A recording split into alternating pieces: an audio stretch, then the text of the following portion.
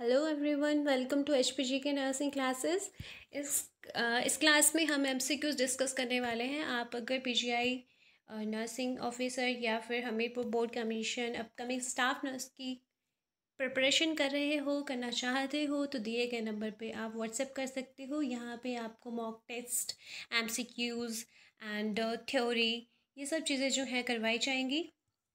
All over जो content है, आपको प्रोवाइड हो जाएगा। ग्राफ टेस्ट हो गया नोट्स हो गया, ये सारी चीज़ें आपको यहाँ पे मिल जाएँगी। वन टाइम ज्वाइन करने पे सब्सक्रिप्शन आपको तब तक वैलिड रहेगी जब तक आपका सिलेक्शन नहीं हो जाता। स्टार्ट करते हैं। फ़र्स्ट क्वेश्चन है हमारा which of the following statement is or are false about genito urinary anatomy तो जेनेटो यूरिनरी सबसे पहले तो हमें यह समझना चाहिए कि जेनेटो यूरिनरी एनाटमी है क्या? जेनेटो यूरिनरी टू वर्ड्स हैं ये। राइट? जेनेटो जो वर्ड है, वो इंडिकेट करता है रिप्रोडक्शन को। एंड यूरिनरी जो है, ये इंडिकेट कर रहा है यूरिन को, है ना? फॉर्म ऑफ़ यूरिन सो यहाँ पे जो है part of body that play a role in reproduction and waste production जो वेस्ट प्रोडक्ट हैं, वो यूरिन के साथ में एक्सक्रीट आउट हो जाए। ये जेनेटो यूरिनरी सिस्टम में आता है। तो यहाँ पे इन्होंने पूछा है कि कौन सी स्टेटमेंट जो है वो रॉन्ग है जेनेटो यूरिनी एनाटमी के रिगार्डिंग ऑप्शन ए जो है आपका superficial dorsal penile artery is a branch of bulbo urethral artery option B penile skin is supplied by superficial external pudendal artery option C penis receive three venous drainage system option D there are five sphincter in children Option E. Nerve supply or penis include pelvic splanchnic nerves. So यहाँ पे जो है आपके option A and D is the wrong answer क्योंकि super जो superficial dorsal penile artery जो है वो ब्रांच नहीं होती है बल्बो यूरेथ्रल आर्टरी की बल्बो यूरेथ्रल आर्टरी जो है वो आपके फर्दर जो है ब्लड सप्लाई करने का काम करती है ये पेनिस के जो भी पार्ट्स होते हैं फॉर एग्ज़ाम्पल कॉर्पस स्पॉन्जियोसम हो गया कूपर ग्लैंड हो गए तो ये वहाँ पे रोल प्ले करती है। ठीक है? वहाँ पे क्या करती है? ब्लड सप्लाई करती है कॉर्पस स्पॉन्जियोसम में। कॉर्पस स्पॉन्जियोसम जो है, एक इरेक्टाइल टिश्यू बॉडी होती है जो कि जैकुलेशन में वर्क करती है एंड कूपर ग्लैंड जो होते हैं प्रोस्टेट ग्लैंड होते हैं, ये पी साइज़ ग्लैंड रहते हैं जो कि थिक म्यूकस जो है प्रोड्यूस करती है बिफोर द इजैकुलेशन तो ऑप्शन ए जो है वो रॉन्ग स्टेटमेंट है. ऑप्शन बी की बात की जाए तो इन्होंने कहा कि penile skin is supplied by superficial external pudendal artery तो पिनाइल स्किन जो होती है, उसे पुडेंडल आर्टरी जो होती है सुपरफिशियल एक्सटर्नल पुडेंडल आर्टरी वो ब्लड सप्लाई करती है. ये राइट right स्टेटमेंट है. Option C penis receive three venous drainage system yes जो पीनस है, वो तीन तरह की वेनस ड्रेनस सिस्टम जो है रिसीव करता है। फर्दर हम डिस्कस करेंगे इसके बारे में। And there are five urethra sphincter in children यहाँ पे जो है फाइव यूरेथ्र स्विंगटर नहीं होते हैं बच्चे में। नर्व सप्लाई जो है, ये बिल्कुल option E also correct answer so A and D जो है, वो रॉन्ग स्टेटमेंट है। जेनेटो यूरिनरी एनाटमी की रिगार्डिंग ठीक है। बात करते हैं यहाँ पे ब्लड सप्लाई की। तो जो पीनस होता है, वहाँ पे ब्लड सप्लाई जो है dorsal artery deep arteries of penis and artery of bulb of penis जो है सप्लाई करती हैं। डॉर्सल आर्टरीज जो होती हैं, वो corpora and skin of penis को ब्लड सप्लाई करती हैं। डीप आर्टरी ऑफ़ पेनिस जो है, वो cavernosus artery and artery to crura of penis ये दोनों मिलके क्या करती हैं? कॉर्पोरा कैवर्नोसा को ब्लड सप्लाई करती है। सिंपल सा याद रख सकते हो आप। सिंपल कि डीप आर्टरीज ऑफ़ पेनिस जो होती हैं, वो कॉर्पोरा कैवर्नोसा को ब्लड सप्लाई करती हैं and corpora cavernosa is also erectile body ये इरेक्टाइल टिश्यूज होते हैं। नेक्स्ट है artery of bulb of penis is also called bulbo urethral artery जिसका मैंने पहले ही डिस्कशन किया कि corpus spongiosum and Cooper glands next है आपका वेनस ड्रेनेज तो वेनस ड्रेनेज जो होती है, हमने बात करी कि थ्री वेनस सिस्टम है superficial intermediate and deep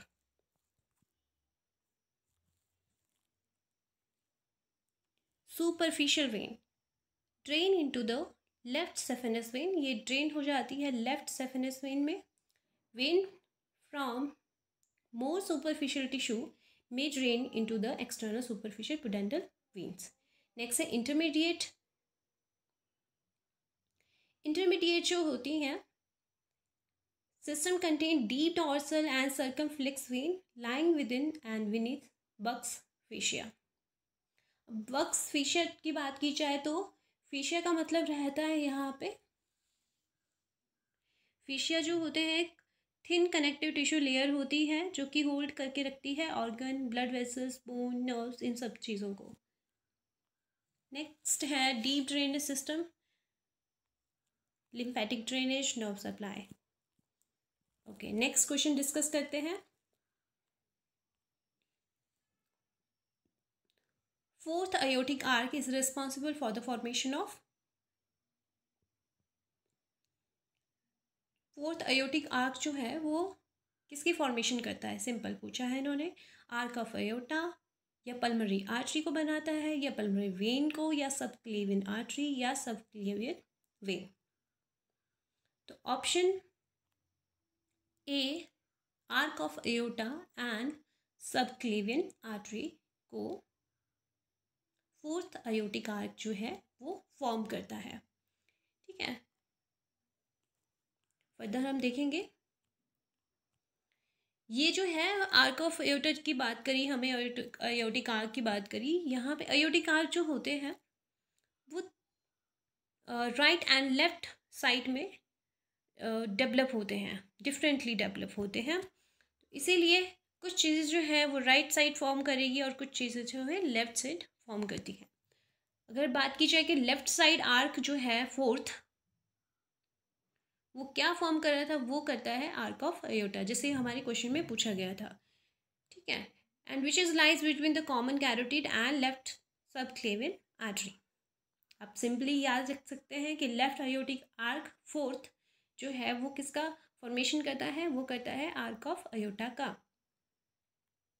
next है राइट अयोटिक आर्क अगर राइट अयोटिक आर्क फोर्थ जो है, वो क्या फॉर्म करता है? वो करता है प्रॉक्सिमल पार्ट किसका? राइट सब क्लेविन आर्टरी का। ठीक है? प्रॉक्सिमल पार्ट को फॉर्म करेगा। एंड जो प्रॉक्सिमल पार्ट तो हो गया कि राइट अयोटिक आर्क ने फॉर्म कर दिया। लेकिन उसका जो डिस्टल पार्ट है, बचा हुआ हिस्सा जो है, वो फॉर्म करती है सेवंथ सर्वाइकल इंटरसेगमेंटल आर्टरी ठीक है? राइट डॉर्सल अयोटा साथ में right seventh cervical intersegmental arteries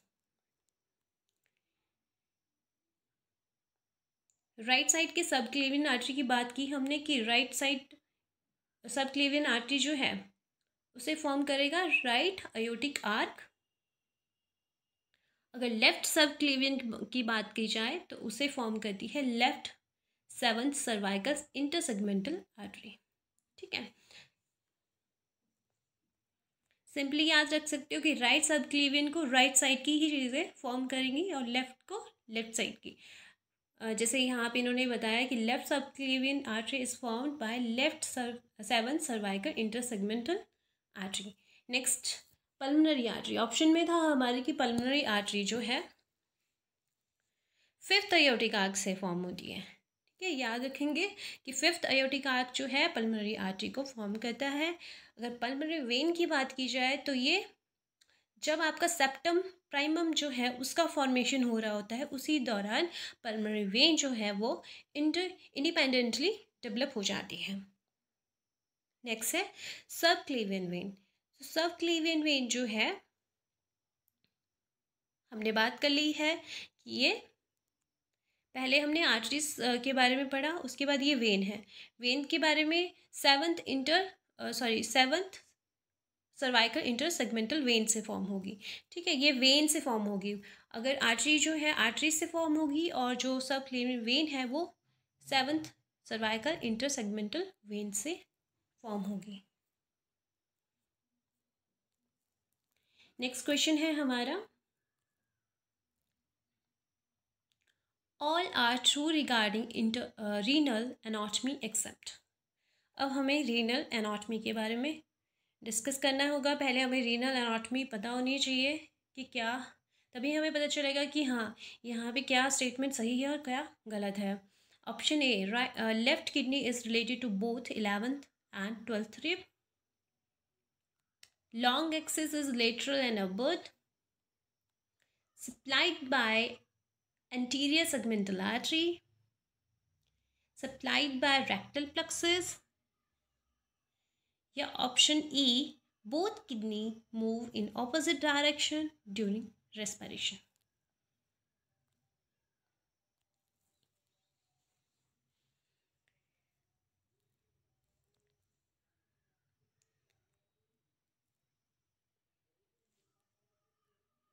तो यहाँ पे जैसे सेगमेंटल आर्टरी की बात करी है सेगमेंटल आर्टरी रेक्टल प्लक्सेस ठीक है? तो anterior segmental artery segmental artery का मतलब क्या होता है? बहुत सारी आर्टरीज जो हैं वो इन्वॉल्व हैं, है ना? ग्रुप ऑफ़ आर्टरीज जो है, उनका इन्वॉल्वमेंट है, जो कि सप्लाई करता है हमारी रीनल को किडनी को, ठीक है? तो यहाँ पे जो है long axis is lateral and upward option A तो बिल्कुल करेक्ट जो है स्टेटमेंट है, क्योंकि जो आपकी किडनी की लोकेशन होती है, वो इलेवन टू ट्वेल्थ रिब में ही होती है, ठीक है? दोनों किडनी की।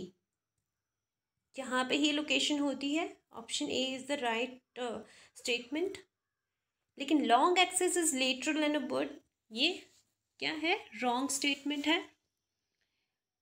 Supplied by anterior segmental artery जो है, बिल्कुल सही स्टेटमेंट है कि क्या एंटीरियर सेगमेंटल आर्टरी जैसे मैंने बताया कि सेगमेंटल आर्टरी माने बहुत सारी आर्टरीज हैं जो कि ग्रुप में हैं। फॉर एग्जांपल ईच किडनी हर एक किडनी को क्या होता है सिंगल रीनल आर्टरी जो है वो ब्लड सप्लाई कर रही होती है।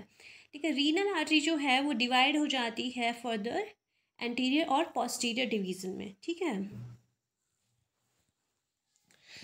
पहले क्या हुआ कि सप्लाई करी थी एक सिंगल रीनल आर्टरी आगे जो रीनल आर्टरी है वो डिवाइड हो गई एंटीरियर एंड पोस्टीरियर डिवीज़न में। ठीक है? अब जब ये डिवीज़न हो जाती है डिवाइड हो जाती हैं देन ये फर्दर अगेन डिवाइड हो जाती हैं सेगमेंट्स में, जिन्हें हम बोलते हैं सेगमेंटल आर्टरीज अब सेगमेंटल आर्टरी जो है वो एपिकल हो सकती है upper middle lower and posterior इस तरह से। ठीक है? तो ऑप्शन सी जो है करेक्ट स्टेटमेंट है। जो रीनल है, जो किडनी है, इसे रेक्टल प्लक्सेस जो है, वो सप्लाई नहीं करते हैं। ऑप्शन डी जो है, वो भी इनकरेक्ट स्टेटमेंट है। And both kidney move in opposite direction during respiration ये बिल्कुल ही गलत स्टेटमेंट है। तो option B D and E तीनों ही इनकरेक्ट स्टेटमेंट है। ठीक है? ये ट्रू नहीं है। ऑप्शन में यही सॉरी क्वेश्चन में यही पूछा था कि एक्सेप्ट बताना है, ठीक है? तो ऑप्शन ए एंड सी आपका करेक्ट है, बाकी स्टेटमेंट रॉन्ग है।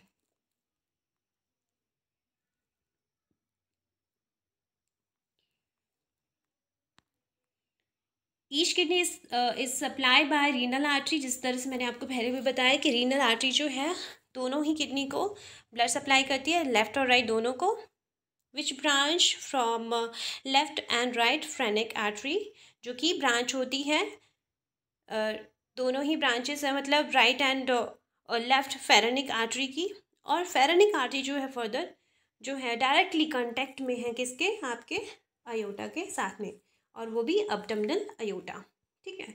जैसे मैंने आपको बताया थे कि सेगमेंटल आर्टरी तो सेगमेंट फाइव सेगमेंट में ये फर्दर डिवाइड हो जाती है posterior apical upper anterior upper anterior middle medial sorry middle anterior and lower इस तरह से। किडनी जो है वो twenty percent approximately cardiac output जो है वो रिसीव करती है। Receive approximately twenty percent of cardiac output ये मेन जो है स्टेटमेंट है। इसे याद रखें नोट डाउन कर लीजिए।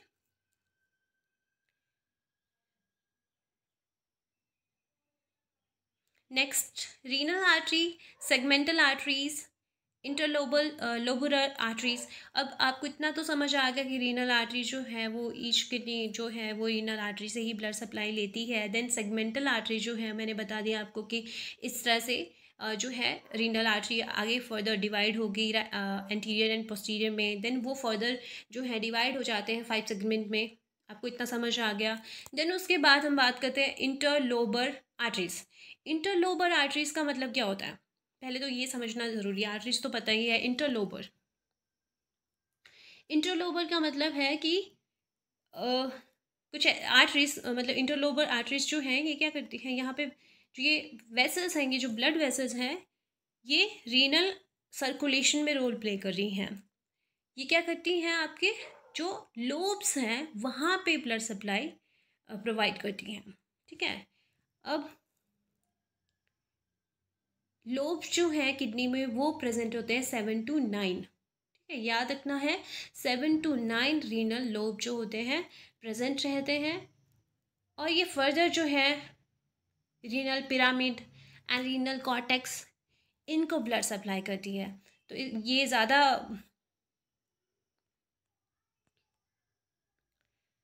वर्क नहीं होता है इनका, बस इतना सा वर्क होता है कि ये रीनल पैरामिड्स को एंड रीनल कॉटेक्स को जो है ब्लड सप्लाई करने का काम करती हैं। आई होप आपको समझ आ गया हो। नेक्स्ट है interlobar artery supply arcuate arteries अब आर्कुएट आर्टरीज क्या होती हैं? आर्कुएट आर्टरीज जो होती हैं, इन्हें हम आरसी फॉर्म आर्टरीज भी कहते हैं। और ये भी रीनल सर्कुलेशन में ही रोल प्ले करती हैं। ठीक है? ये लोकेटेड होती हैं आपके रीनल कॉर्टेक्स एंड मेडुला के बीच में। अब कॉर्टेक्स एंड मेडुला के बीच में अगर आर्कुएट आर्टी आर्टरीज जो है, वो प्रेजेंट है इट मीन्स वहाँ पे ही ये ब्लड सप्लाई करने का काम करती हैं सिंपल ठीक है?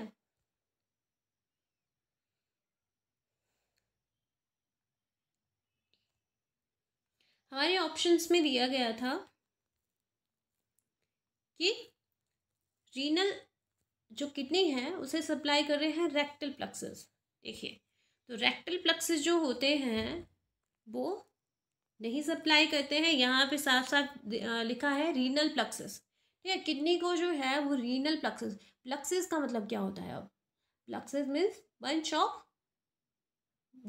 vessels group of arteries जो है इट्स कॉल्ड प्लक्सेस तो रीनल प्लक्सेस जो है वो ब्लड सप्लाई करते हैं किडनी को। नेक्स्ट नेक्स्ट क्वेश्चन है हमारा।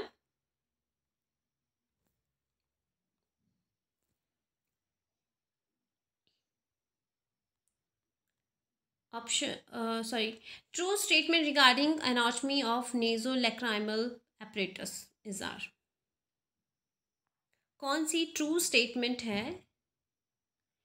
रिगार्डिंग नेजोलैक्राइमल एपरेटस की एनाटमी के रिगार्डिंग ठीक है, अब हम बात करेंगे नेजो लेक्राइमल एपरेटस की।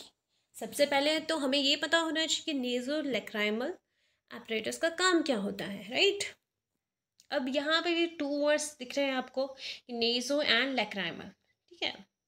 नेजो से मीन्स नोज़ आपका राइट एंड लेक्राइमल लेक्राइमल जो होती हैं लेक्राइमल डक्ट आपने सुना होगा लैक्टाइमल ग्लैंड आपने सुना होगा जो कि टीयर के प्रोडक्शन में रोल प्ले करता है राइट तो उसी तरह से लैक्रो नेजो लैक्राइमल एपरेटस ठीक है?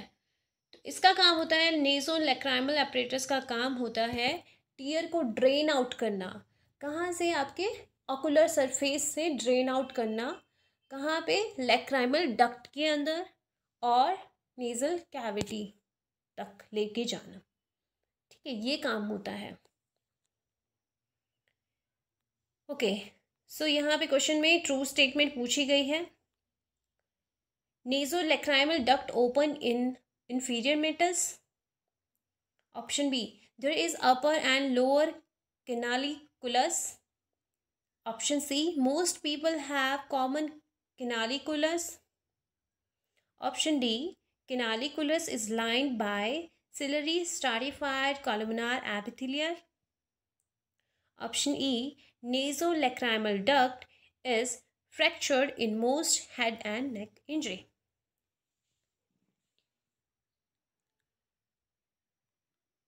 तो यहाँ पे नेजोलेक्राइमल डक्ट जो होती है, वो इन्फीरियर मेटस में ओपन होती है। ये राइट स्टेटमेंट है बिल्कुल कि नेजोलेक्राइमल डक्ट जो होगी, वो ओपन होती है इन्फीरियर मेटस में। और यहाँ पे अपर एंड लोअर कैनालिकुलस पाई जाती हैं। बहुत सारे केसेस में देखा गया है कि most of the people have common canaliculus ये भी राइट right स्टेटमेंट है। Canaliculus is lined by ciliary stratified columnar epithelium. ठीक है? स्टार्टिफाइड का मतलब होता है सेवरल लेयर ठीक है? यहाँ पे सीलरी स्टार्टिफाइड कॉलमनार एपिथेलियम होती है कैनालिकुलस में. और नेजोलैक्राइमल डक्ट जो होती है, अगर वो फ्रैक किसी को भी हेड एंड नेक इंजरी हो जाती है तो इजीली डैमेज हो सकती है। ठीक है तो ऑल स्टेटमेंट्स आर करेक्ट ठीक है?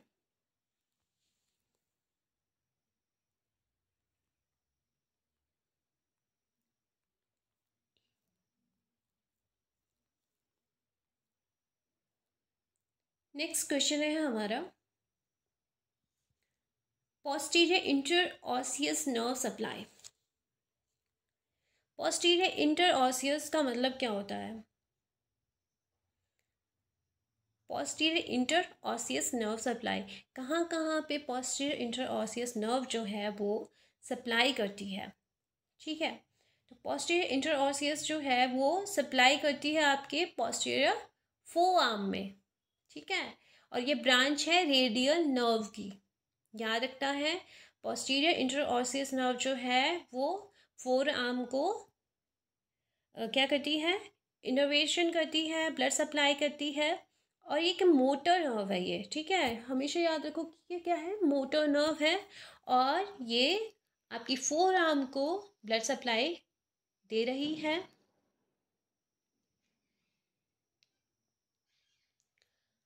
अब मोटर का जो काम होता है, मान जैसे मैंने बताया कि ये क्या है? मोटर नर्व है राइट तो मोटर नर्व का काम क्या होता है?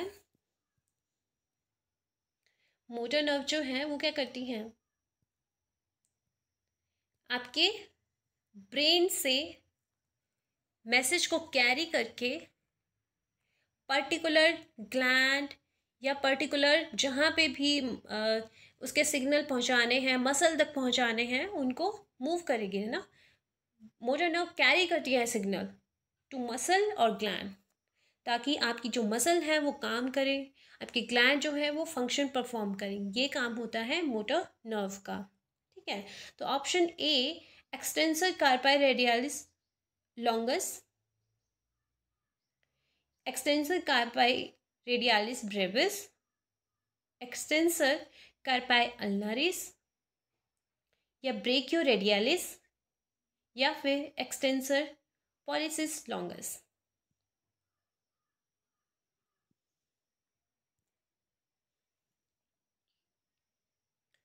तो यहाँ पे जैसे मैंने आपको बताया कि पोस्टियर इंटरऑसियस नर्व जो है, एक मोटर नर्व है और ये रेडियल नर्व की ब्रांच है राइट रेडियल नर्व की ब्रांच है। तो यहाँ पे जो आपका है रेडियल रेडियालिस लॉन्गस ये posterior compartment of forearm में ब्लड सप्लाई जो नर्व सप्लाई है वो करने का काम करती है। Posterior compartment of forearm पे नेक्स्ट जो है आपका एक्सटेंसर पॉलिसिस लॉन्गस तो एक्सटेंसर पॉलिसिस लॉन्गस जो है, इसका काम होता है थम फ़ंक्शन करना, ठीक है?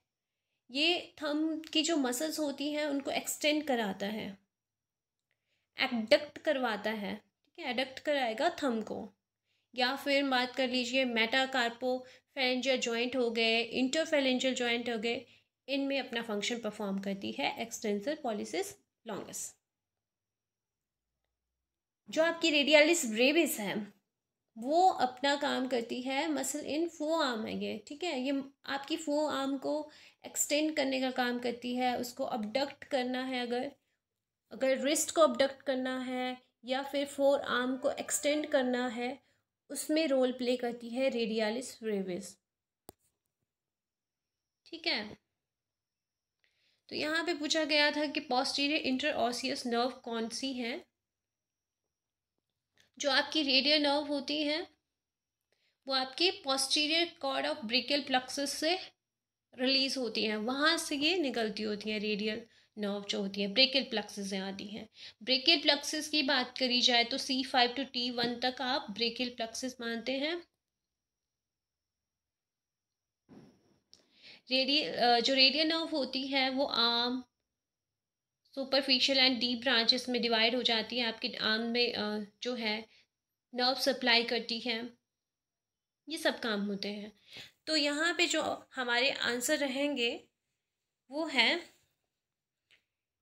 एक्सटेंसर कार्पाई रेडियालिस ब्रेविस यहाँ पे blood supply sorry nerve supply करेंगी। एक्सटेंसर कार्पाई अल्नारिस में जो है सप्लाई करती हैं। एंड एक्सटेंसर पॉलिसिस लॉन्गस में जो है वो नर्व सप्लाई करेंगे। ठीक है? Option B and option C and option E is the right answer ठीक है?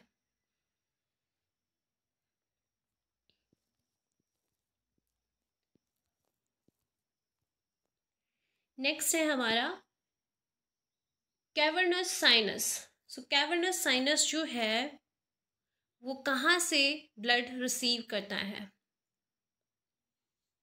कैवर्नस साइनस का मतलब होता है हॉलो स्पेस ठीक है? खाली स्पेस कहाँ पे? आपके ब्रेन के under located under the brain and behind the eye socket तो आई सॉकेट के पीछे वाला जो स्पेस होगा, उसे हम बोलते हैं हॉलो स्पेस और उस स्पेस को आप बोलते हो कैवर्नस साइनस ठीक है कैवर्नस साइनस को बोला जाता है हॉलो स्पेस यहाँ से आपकी मेजर ब्लड वेसल्स होती हैं फॉर एग्जांपल जुगलर वेन जो है, वो ब्लड को कैरी करके लेके जाती हैं आपके ब्रेन से।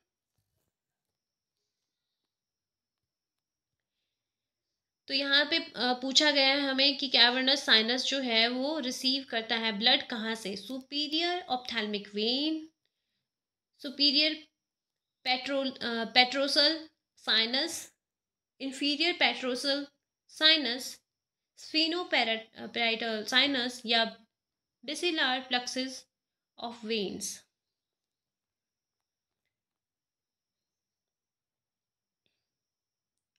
तो जैसे हमने बात करी कि हॉलो स्पेस है और आई सॉकेट की पीछे रहता है तो ऑप्थेलमिक वेन जो है सुपीरियर ऑप्थेलमिक वेन जो है, वो कैवर्नस साइनस को ब्लड प्रोवाइड करती है। एंड साथ में आपका जो ये स्फीनोपेरेटल साइनस है, वो भी कैवर्नस साइनस को ब्लड सप्लाई करता है। ठीक है? Superior ophthalmic vein and sphenoparietal sinus जो हैं, वो दोनों ही ब्लड सप्लाई करते हैं। कैवर्नस साइनस को। स्पिनोपैरेटल साइनस जो होते हैं, अब जो आप ये साइनस साइनस देख रहे हैं, ये साइनस का मतलब होता है ब्लड चैनल ठीक है? ब्लड चैनल जहाँ से जो है जो ब्लड है वो ड्रेन आउट होता है ठीक है? कोई भी कैरेनियल कैविटी से ड्रेन होता है ब्लड उसे कहा जाता है साइनस साइनस एक ब्लड चैनल है ठीक है? जि, जिसके थ्रू जो है ब्लड पास होता है सिंपल सा ठीक है? तो स्पिनोपेराइटल साइनस जो है ये होता है आपका प्रेजेंट लेसर स्फीनोइड विंग में ठीक है? स्फीनोइड विंग के पास में होता है तो वहाँ से ब्लड जो है ड्रेन हो सकता है आपकी क्रेनियल कैविटी से। तो इसीलिए कैवर्नस साइनस जो है वो ब्लड रिसीव कर पाता है superior ophthalmic vein and sphenoparietal sinus से।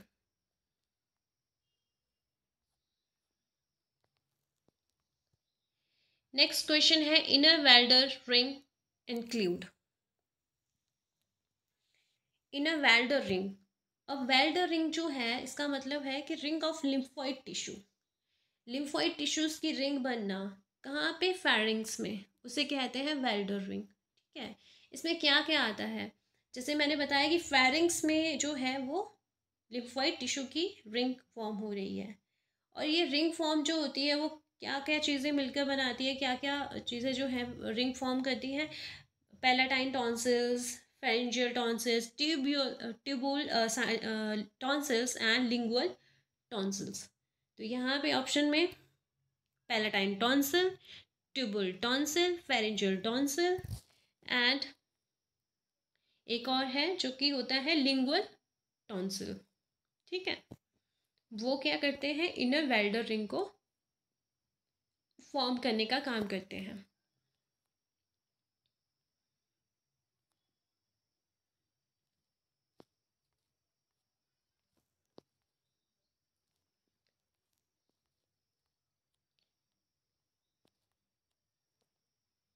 नेक्स्ट क्वेश्चन है हमारा। Structure passing through aortic opening into the chest include कौन सा स्ट्रक्चर है जो कि पास होता है हमारे अयोटिक ओपनिंग से हमारे चेस्ट तक? Thoracic duct azygos vein hemiazygos vein या इसोफेगस इन्फीरियर वेना कैवा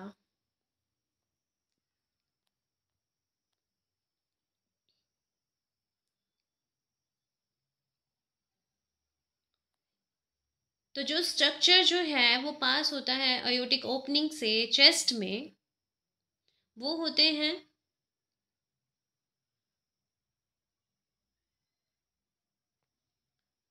एक तो है आपका option B azygos vein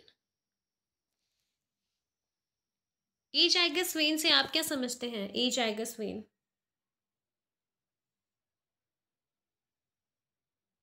as आइगस vein का मतलब क्या होता है? एज आइगस वेन जो होती हैं, वो कैरी करती हैं ब्लड को फ्रॉम द कहाँ से? चेस्ट एंड अबडमन से। ठीक है? और वो हार्ट तक लेके जाती हैं। ये फ़ंक्शन होता है एज आइगस वेन का। ठीक है? एज आइगस वेन क्या करती हैं? चेस्ट और अबडमन से ब्लड को कैरी करके हार्ट तक ले जाने का काम करती हैं। ये लार्ज वेन रहती हैं आपके right side of the back of thorax drain करती हैं सुपीरियर वेना कैबा में, ठीक है?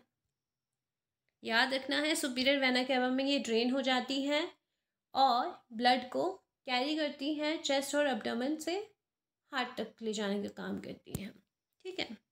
अब इसी से, जैसे एच आइगस वेन बताया मैंने, इसी से रिलेटेड आपका यहाँ पे ऑप्शन है थोरेसिक डक्ट ठीक है।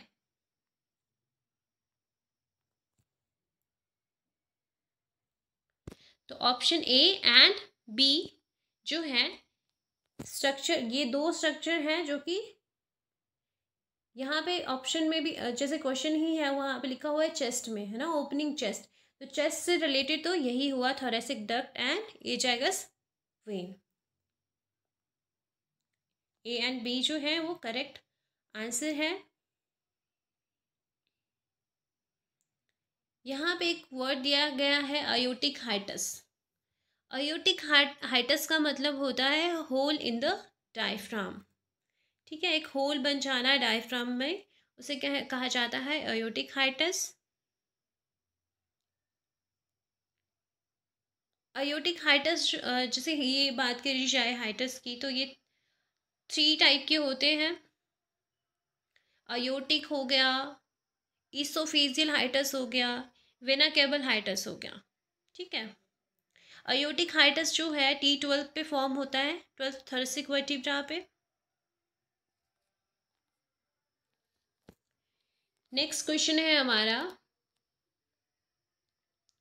Constituents of rotator cuff include all except अब रोटेटर कफ में क्या क्या जो है इंक्लूड किया जाता है किन्हीं एक या दो को छोड़ के।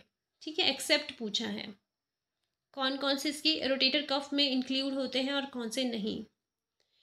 Teres major teres minor supra spine spinatus supra spine sorry supraspinatus infraspinatus and subscapularis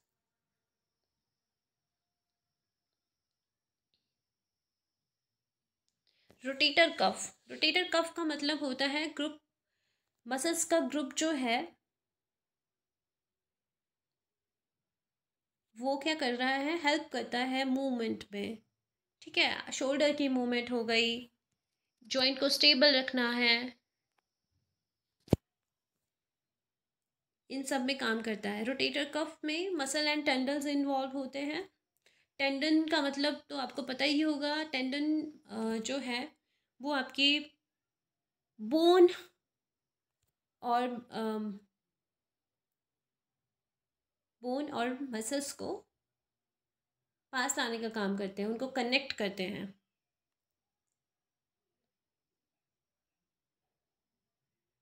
ठीक है? तो यहाँ पे teres major, teres minor, supraspinatus, infraspinatus या फिर सब्स कैप्सुलरिस। रोटेटर कफ का मतलब आपको समझ आ गया कि मसल और टेंडन जो है वो आपस में काम करके आपके शोल्डर और जॉइंट को स्टेबल करके रखते हैं।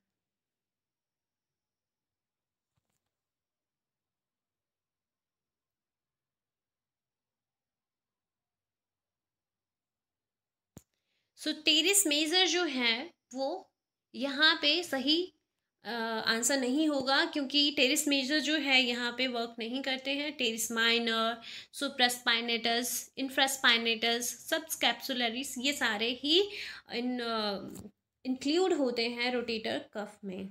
ठीक है? Option A is the incorrect answer Each one of these muscle is part of rotator cuff and play an important role. अब हम इनके बारे में पढ़ेंगे कि इनके क्या फर्दर एक्शन रहते हैं, जैसे मैं बता रही थी आपको। सुप्रस्पाइनेटस जो है, वो ह्यूमरस को होल्ड करके रखता है उसके प्लेस पे, जहाँ पे वो है। Keep your upper arm stable supraspinous spinatus जो है, वो ह्यूमरस पे वर्क करेगी। उसको स्टेबल रखने का काम करती है अपर आर्म को। नेक्स्ट है इंफ्रास्पाइनेटस जो है this is main muscle that lets you rotate and extend your shoulder ठीक है रोटेशन में हेल्प करती है और शोल्डर को एक्सटेंड करने में हेल्प करती है। ये दो वर्क हैं इसके। एक तो रोटेट कर रही है, दूसरा एक्सटेंड करती है शोल्डर को। तो इंफ्रा स्पाइनेटस नेक्स्ट है टेरिस माइनर टेरिस माइनर जो है स्मॉलेस्ट रोटेटर कप मसल होती है। ये rotation of arm away from the body ठीक है? अगर आर्म को दूर ले जाना है बॉडी से, उसमें टेरिस माइनर जो है वो वर्क करती है। नेक्स्ट है सब कैप्सुलरिस सब कैप्सुलरिस जो है, वो होल्ड करके रखती है अपर आर्म बोन को और शोल्डर ब्लेड को, जिससे आप क्या कर सकते हो रोटेट कर पाते हो इजीली अपनी आर्म को। स्ट्रेट कर पाते हैं लोअर कर पाते हैं, ये सारे फ़ंक्शन होते हैं सब कैप्सुलर्स के। तो रोटेटर कफ जो है, वो शोल्डर का मूवमेंट जॉइंट का जॉइंट को स्टेबल रखना ह्यूमरस हर एक चीज़ को, जैसे हमने डिस्कस किया कि for example first one supraspinous spinatus जो है ह्यूमरस को अपने प्लेस पे रखने का काम करती है। इंफ्रास्पाइनेटस जो थी, वो रोटेट रोटेशन का वर्क कर रही थी एक्सटेंड कर रही थी शोल्डर को टेरिस माइनर जो थी, वो रोटेट कर रही थी कफ मसल्स को। ओके नेक्स्ट क्वेश्चन है हमारा। Not true statement regarding parotid gland parotid gland के कौन सी स्टेटमेंट जो है वो इनकरेक्ट है? Deep lobe contain deep lymphatics option B divide into superficial and deep lobe by facial nerve option C parotid duct open opposite to the second upper molar option D ectodermal in origin या फिर auriculotemporal nerve is a main sensory nerve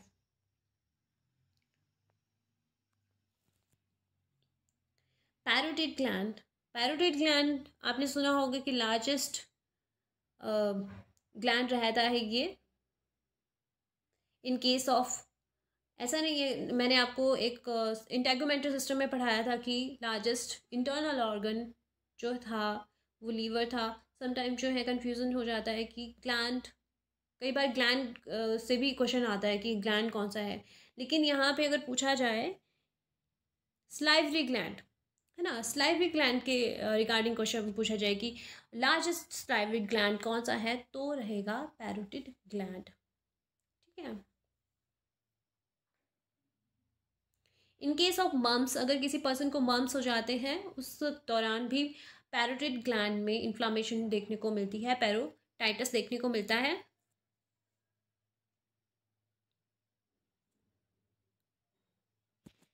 तो यहाँ पे जितनी भी statements हैं option A को छोड़ के सारी ही करेक्ट है। Divide into superficial and deep lobes by facial nerve correct से स्टेटमेंट है। ये डिवाइड हो जाता है सुपरफिशियल एंड डीप लोब में। नेक्स्ट है parotid duct open opposite to the second molar second upper molar ये पैरोटिड जो डक्ट है, वो ओपन कहाँ से होती है? आपके सेकेंड अपर मोलर से। लेकिन ऑपोजिट साइड से। नेक्स्ट है एक्टोडर्मल जो है, इसका ओरिजिन है। जैसे मैंने आपको इंटेगोमेंट्री सिस्टम में स्किन का जो ओरिजिन था, वो बताया था एक्टोडर्मल और यहाँ पे भी जो ये पैरोटिड ग्लैंड है, उसका जो ओरिजिन है, वो भी एक्टोडर्मल से ही होता है। नेक्स्ट है auriculotemporal nerve is the main sensory nerve अब हमने एक क्वेश्चन में बात करी थी कि सेंसरी नर्व जो होती हैं और मोटर नर्व मोटर नर्व की बात करी थी कि मोटर नर्व जो है वो आपके सी एन एस से पी एन एस तक जो है मैसेज ट्रांसफ़र कर रहा है। और यहाँ पे सेंसरी नर्व जो होती है वो P N S to C N S जो अपना मैसेज है उसको डिलीवर करती है। मतलब पेरीफ्रल नर्वस सिस्टम से, आपकी पेरीफ्रीज में जो भी सेंसेशन जो भी टच फील जो भी आपको फील हुआ या कोई भी मैसेज है वो कैरी करती हैं और आपके सेंट्रल नर्वस सिस्टम तक लेके जाने का काम करती हैं।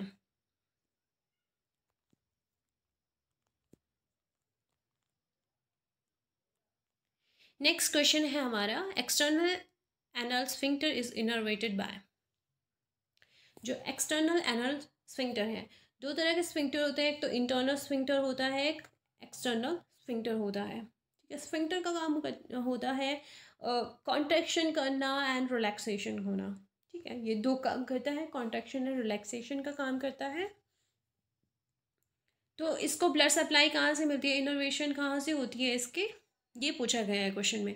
S two S three S four S two S three S one S two L five S one L two L three अभी एस जो है एस का मतलब है सैक्रल ठीक है sacral two sacral three sacral four इस तरह से, ठीक है?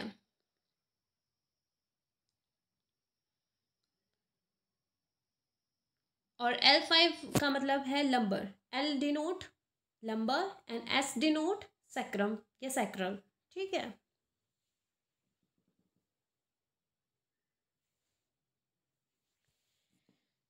तो एनस्फिंक्टर को जो है ब्लड सप्लाई इनोवेशन जो है वो मिलती है S two S three and S four से। ठीक है? S two S three and S four इसके बारे में थोड़ा डिस्कस कर लेते हैं। जैसे मैंने आपको बताया कि टू स्विंटर होते हैं। इंटरनल एंड एक्सटर्नल इंटरनल पे इनवॉलेंट्रली वर्क होता है। हमारा कोई उस पर कंट्रोल नहीं होता है। इनवॉलेंट्रली है वो। ठीक है? और जो एक्सटर्नल स्विंक्टर होता है, उस पर वॉलेंट्री कंट्रोल होता है। क्वेश्चन में आपसे चाहे ये पूछ लिया जाए कि एनल स्फिंक्टर है, जो एक्सटर्नल है या फिर इंटरनल है, दोनों पे ही इनोवेशन की बात आए तो S two S three S four ही करती हैं। नेक्स्ट क्वेश्चन है a patient had a lesion in the wrist on examination the thumb was laterally rotated and adducted. With a thumb deformity, which is the nerve involved. एक patient है जिसको legion हुआ है wrist पे। जब examination किया गया तो आपको थम जो है वो लेटरली रोटेटेड दिखा एंड अडक्टेड दिखा। ठीक है? एडक्शन हो रखी है एंड लेटरली रोटेट है। With ape thumb ape thumb का मतलब होता है इनएबिलिटी टू एबडक्ट और ऑपोजिट जो है मूवमेंट करना। जैसे यहाँ एडक्ट हो चुका है, इसको अबडक्ट नहीं कर पा रहा है वो, ठीक है? मतलब थम की जो है वो मूवमेंट नहीं कर पा रहा है, ठीक है? आप अगर जो है पाम से अवे ले जाना चाहते हो तो वो ले नहीं जा पा रहा, ठीक है? थम को। तो कौन सी नर्व जो है इन्वॉल्व है इस चीज़ में? Median ulnar radial post interosseous nerve तो मीडियन नर्व जो होती है, वो वर्क करती हैं एज अ मोटर ब्रांच ठीक है? मोटर नर्व मोटर ब्रांच है ये। और ये जो मीडिया नर्व है, ये एंटीरियर इंटरऑसियस नर्व की ब्रांच है। तो पोस्ट इंटरऑसियस नर्व तो आएगा ही नहीं यहाँ पे। हमने पहले ही पढ़ लिया था कि पोस्ट इंटरऑसियस नर्व जो है, वो किसका पार्ट जो है फर्दर आपकी रेडियल रेडियल नर्व के साथ में वर्क करती है। ठीक है? ये हमने बात कर ली थी लास्ट क्वेश्चन में। अब यहाँ पे ये ऑप्शन तो बिल्कुल ही इनकरेक्ट है कि पोस्ट इंटरऑशियस नर्व जो है वो इन्वॉल्व रहेगी। नेक्स्ट रेडियल एंड अल्लर ये तीनों ही जो है, ये पोस्ट इंटरऑशियस नर्व में इंक्लूड होती हैं। तो ऑप्शन जो ए है, वो राइट right आंसर है मीडियन नर्व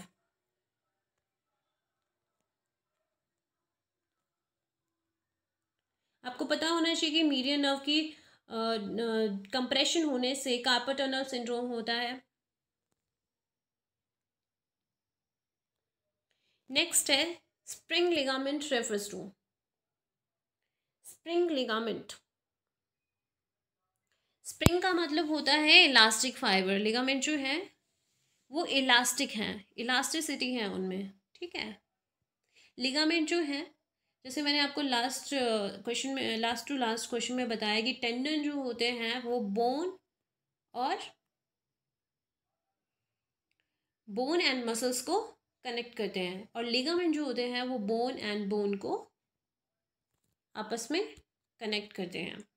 तो स्प्रिंग लिगामेंट जो है इलास्टिक लिगामेंट ये किससे संबंधित है? Refers to plantar calcaneo navicular navicular ligament short plantar ligament long plantar ligament या बोथ बी एंड सी या फिर कोई नहीं।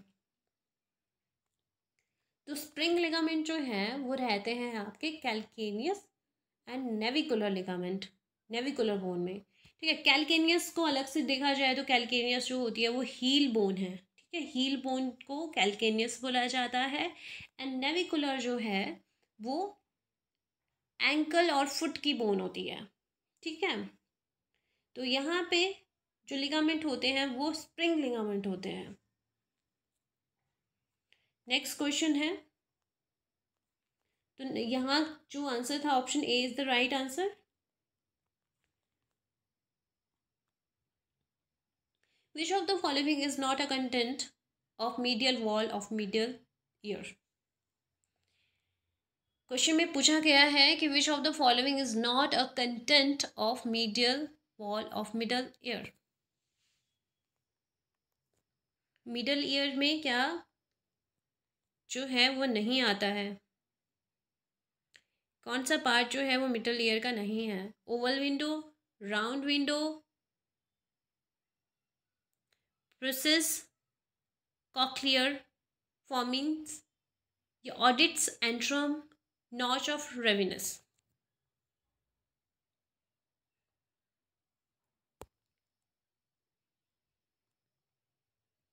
question में पूछा गया है कि मिडल ईयर में